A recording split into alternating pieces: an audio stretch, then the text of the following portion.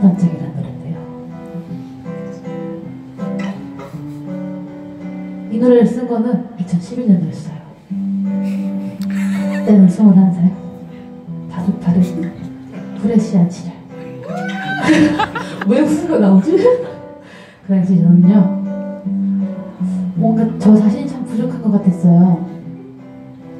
그러던 어느 날 어떤 분을 만났습니다 그분은 참 반짝반짝하더라고요. 저랑 다르게요. 그래서 그런 생각을 했어요. 와 나도 저 사람처럼 저렇게 반짝반짝하면 좋겠다 하고 노래를 썼습니다.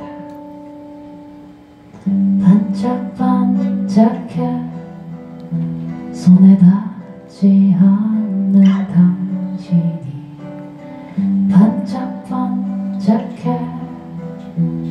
나를 보는 그대 시선이.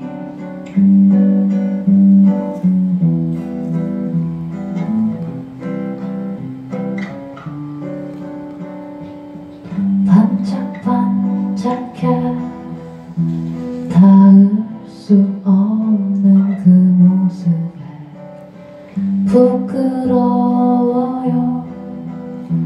반짝이지 내 모습이 사랑스러운 모습이 반짝 반짝.